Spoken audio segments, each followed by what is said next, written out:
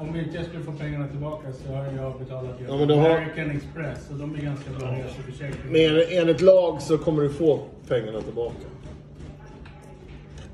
Så att, eh, du, men det tar sin tid som sagt. Ja. Jag Men inte de gick ju ut först med att de inte betalar. Men då fick ju de... eh, Då fick de... Ja, det var någon...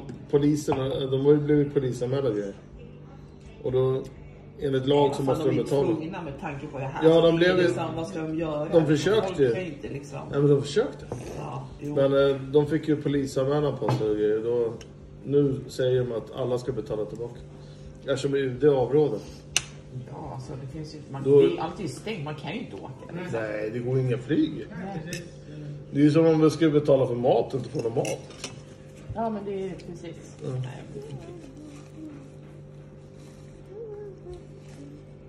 Nej.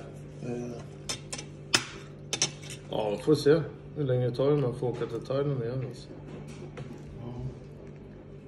Ni hann i alla fall vara där nere innan. Det var tur att ni drog. Ni hade inte tänkt att dra. Nej, vi åkte ju där i nio år. Det var en jäkla tur det. Ja, vi skulle ha bokat till april var det? Och så skulle vi ha bokat Kanada också. Vad tur, vi bokade inget utav det. Nej. Jävla Ja, de har legat ute med 10 000 och inte fått tillbaka. Jag kollar på finalen. Man kan ju boka Foss 3. 40 000 i business i juli. Till Bangkok. Men, Men vågar man boka då? Man kommer inte kunna åka i juli. Nej. Det är kört. Ja, även om det gör det, det kommer, allting är stängt där nere. Det är, Ja, alltså det... Ja, kon- konken har de ju stängt igen helt nu också. เอามือไหม อร่อยใช่ไหมคะเอาพูดสิคะร้านอะไรคะร้าน Nej, det ไทยบ้านร้านป้าเปรี้ยวที่บ้านใช่ไหม คนขอนแก่นเหมือนบ้านเราใช่ไหมคะ Jag plockade med Freddan för เนี่ยป้าเปรี้ยวอ๋อลูกสาวป้าเปรี้ยวกับลุงอ๋อไม่รับเฟรดริกกับป้าป้าเปรี้ยวทำงานอยู่ในบ้านค่ะ Så bara, fan du får inte höra av dig ifall du hör ifall någon konkar i Uppsala. Ja, han är jättesugen nu på... Nu är han intresserad för att nu tror han att det är jättebilligt att köpa restauranger. Det är det Ja, men det finns ju inget till salu i Uppsala. Nej men det kommer. Ja, jag tror att den här prislistan jag fick. Alla restauranger i och för sig till salu i Uppsala. I stort sett. Men de har inte gått ut med det. Jag fick ju från mäklaren. Även med han Melker, vad heter han? Mästerkocken. Melkerson? Ja, han har ju restaurang.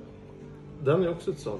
Och den här, vi var i- belgiska med bryggeriet där med musslorna. Bierhaus. Ja, det är- Den är också ett salu. Men de har inte gått ut med det. อาหารมีอะไรบ้าง Sex medlemmar ska man ha. จะกินอีกหนูกินอีกก็กิ Men น de har เล ju ยค่ะ eget กิน bryggeri. เลยกินอีกกินเลย Ja.